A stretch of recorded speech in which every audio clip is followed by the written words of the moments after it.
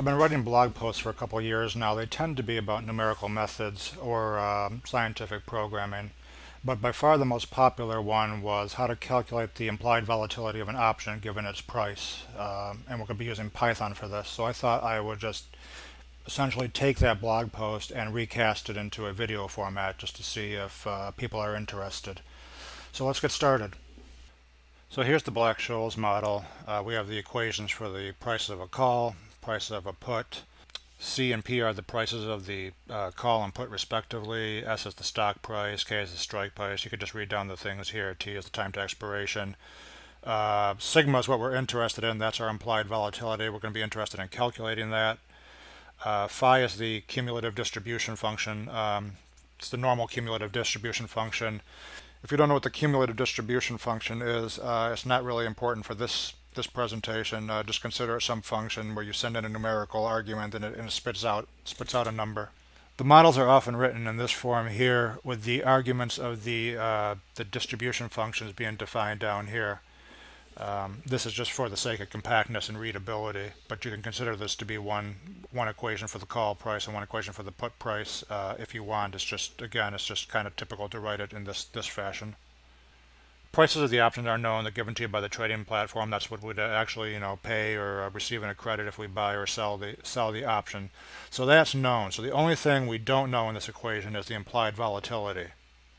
The issue here is going to be actually calculating sigma. You just can't rearrange these equations algebraically to pop out a value. So how we're going to approach this, uh, we're going to take the Black-Scholes uh, model here and set that equal to the call price that we actually get off of our option chain, then rearrange the equation like this. So we have Black-Scholes model minus actual call price equals zero. So we want to find a value of sigma that actually sets this equal to zero. So here I have an example plot uh, here where I've swept, uh, let's get rid of this bar off of the bottom here. Come on, go away. There we go. Where I've swept sigma from 0 to 1, so 0% to 100% implied volatility, um, and plotted this function here, this uh, this here as a function of, of sigma. So that's this equation here. So we want to find the value of sigma where this thing crosses 0, which is right about here, or say 30, 38, 37% uh, implied volatility.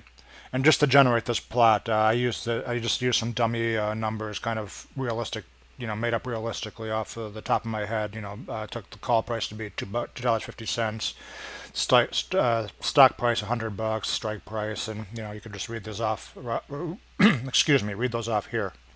As I've already said, you can't um, you can't solve for sigma algebraically, but it can be done by a computer. It can be done numerically. Um, a very crude uh, way to do this would just be to take the code I use to plot out these data points here, sweep your sigma values along, calculating this function here until you get close enough to zero to call it good enough, and then just call it quits.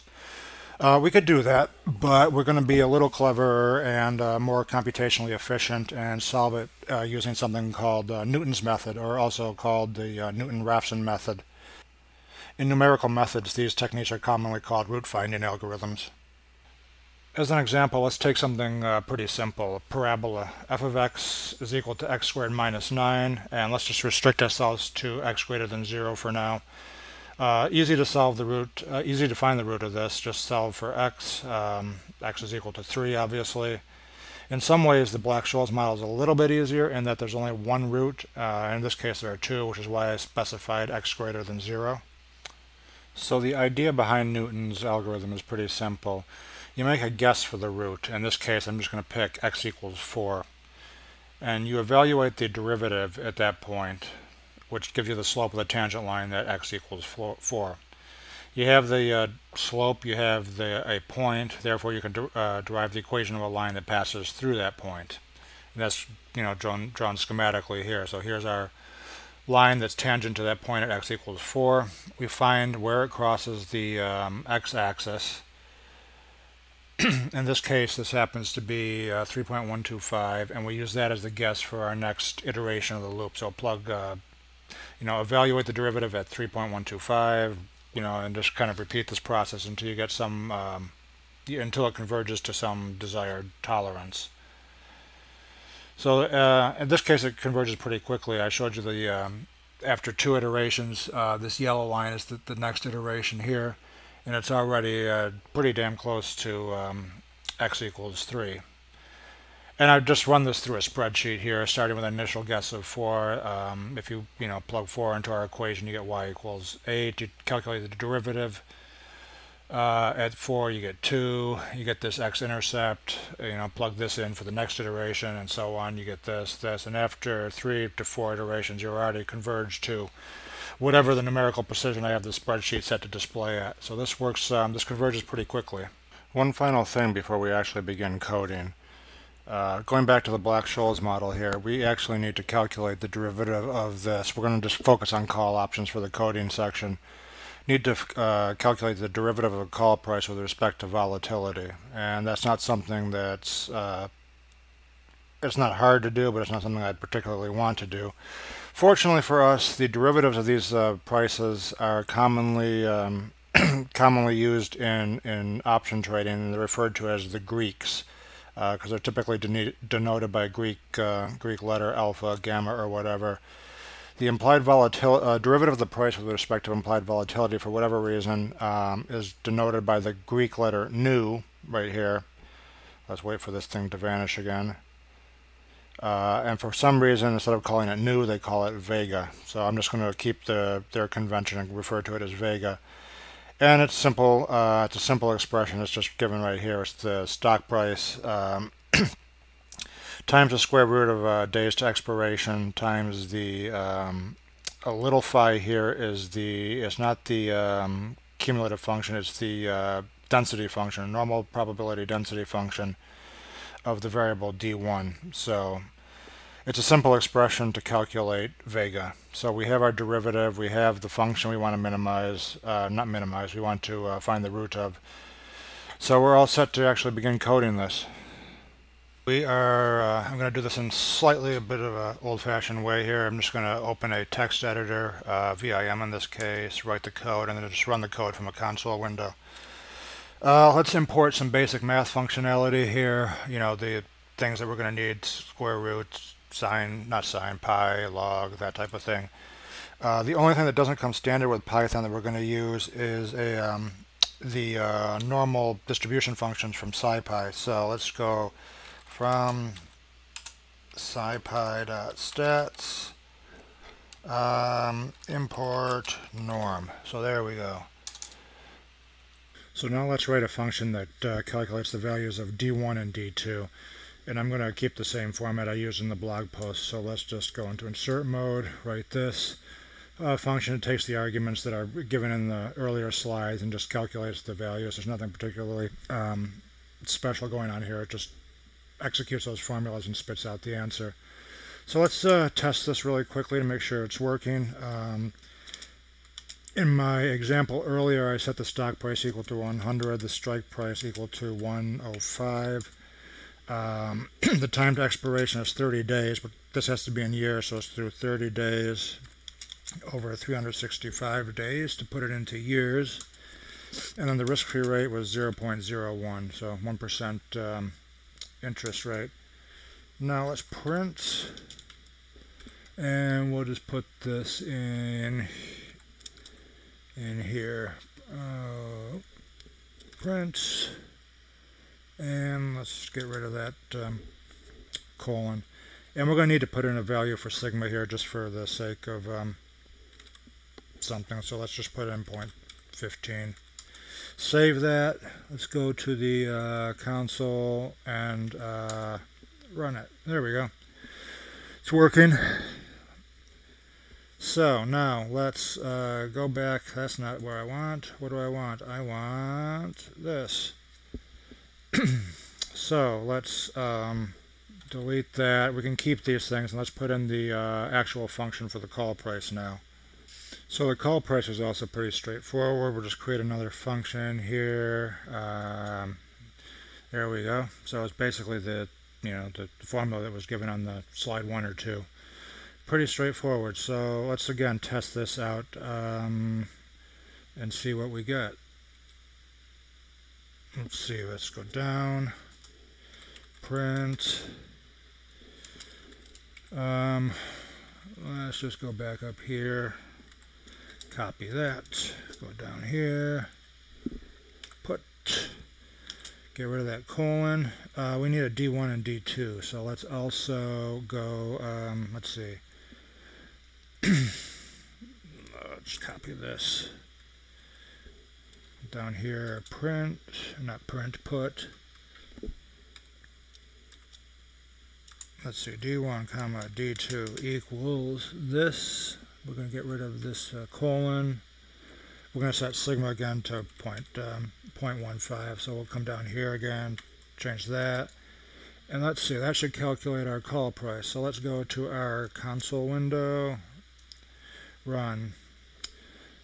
There we go, 29 cents according to Black-Scholes model for those parameters. Okay, let's get rid of these now.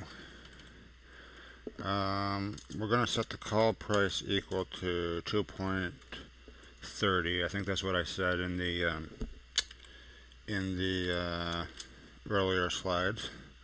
So we're going to set up some variables for bookkeeping purposes. Uh, let's set some sort of tolerance, and that equal to for the not for the time being. Let's do a 10 to the minus three. Um, so one percent. So this will be what we uh, one of our stopping criteria. We're going to set uh, another variable epsilon, which will also which will be the actual percent change of our um, implied volatility estimate from one iteration to the other. Right now, we'll just set that equal to one, just um, so we can start our loop. Let's also create a variable called count, set it equal to zero. Um, that's just for bookkeeping purposes. We could also set something like a variable called max iter, and we'll set that equal to 1000. Um, just so that this thing, for some reason, if it runs, you know, into a problem, it won't go into some infinite loop. We'll put in some sort of stopping, stopping criteria. Cool, let's clean this up a bit. Let's move this up here. We'll call this, we'll just label this as um, option, option parameters. We'll just put this as uh, toler, tolerances, now, let's see. The bulk of this is going to be done in a uh, while loop, or all of it's going to be done in a while loop. So, while our epsilon variable, epsilon, I can spell, is greater than tau.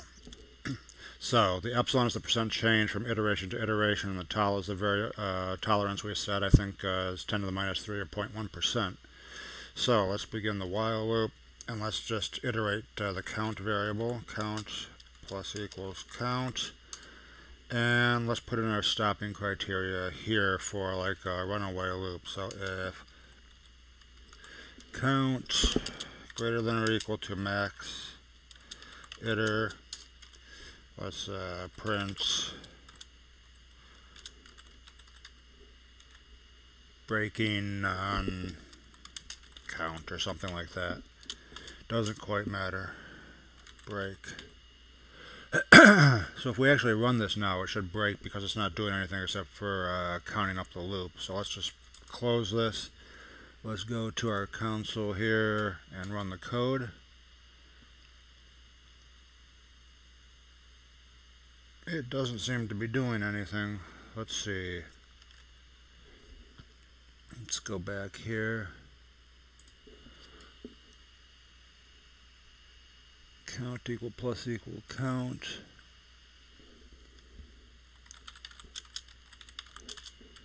Print count.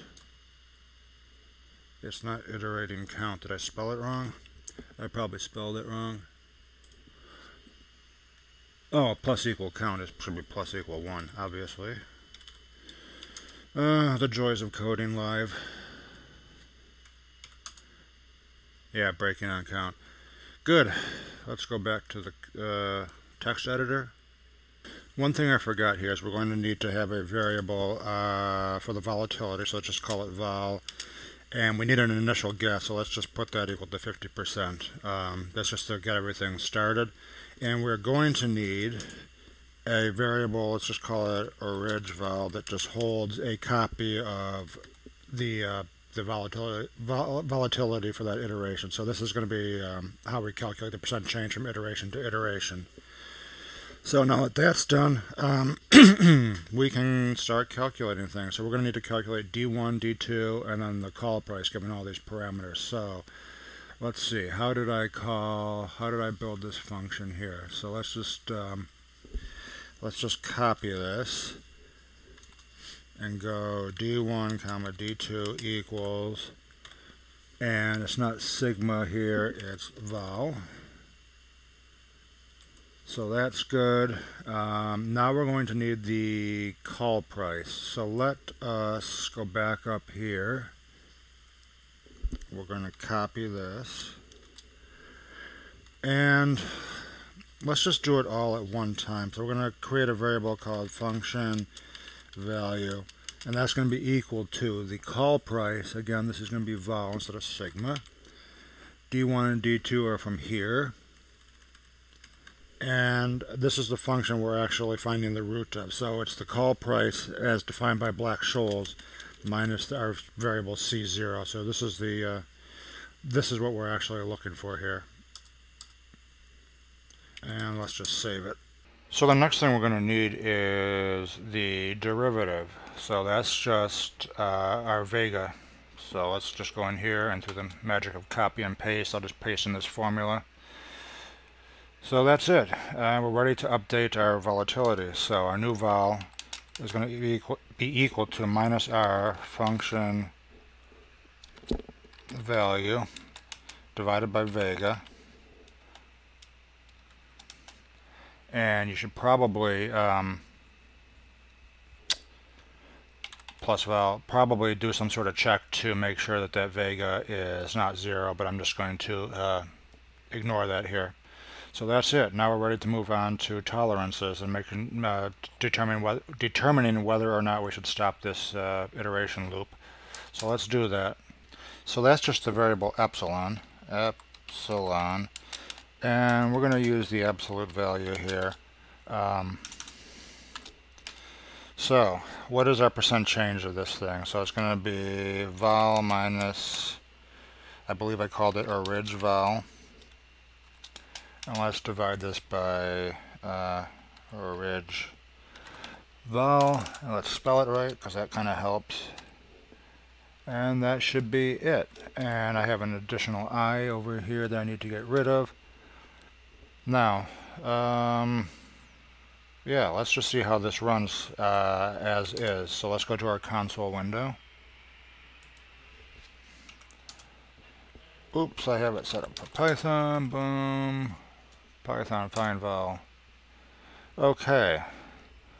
So it seems to be uh, up and running. So let's just go down here and print val. And let's actually wrap this in parentheses. There we go. That's it. Uh, so we should just clean up this code a little bit and maybe add something like uh, just add some text here. Uh, sigma equals, and let's delete that and put it here. And print code took count iterations.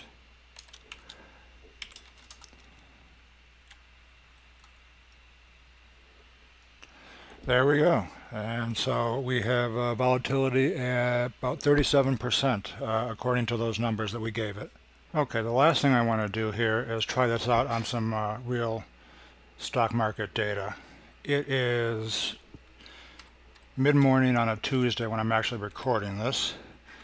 So uh, the stock market is open. We can actually test out this code with, with live information. So let's just copy and paste this in here. Oops, wrong button. Control V. Okay. So, somewhere on here I have an actual trading platform running. Um, here I have Apple stock, which I have a position in, option position. So let's calculate the implied volatility of this 210 call right here.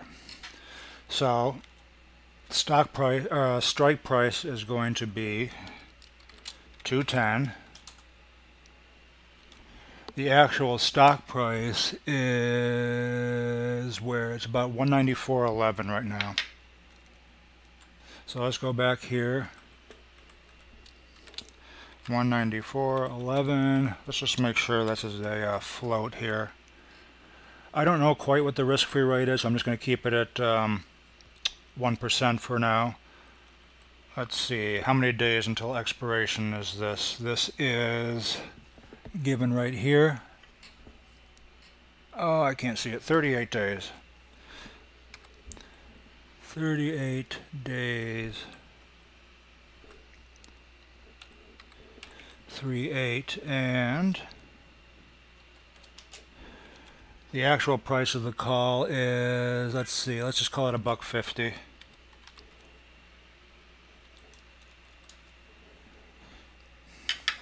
see what happens when we run it.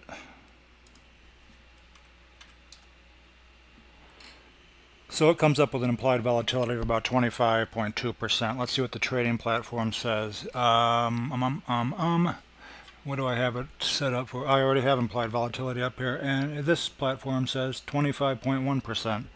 So what was my number again? 25.2%, close enough. Well, that took longer than I thought. I was hoping to keep this around 10 minutes, but we're obviously well over 20 at this point, so I will call it quits. And in the meantime, I will clean up the code a little bit, write some comments, and upload it to uh, GitHub. The link will be down below. Thanks, guys.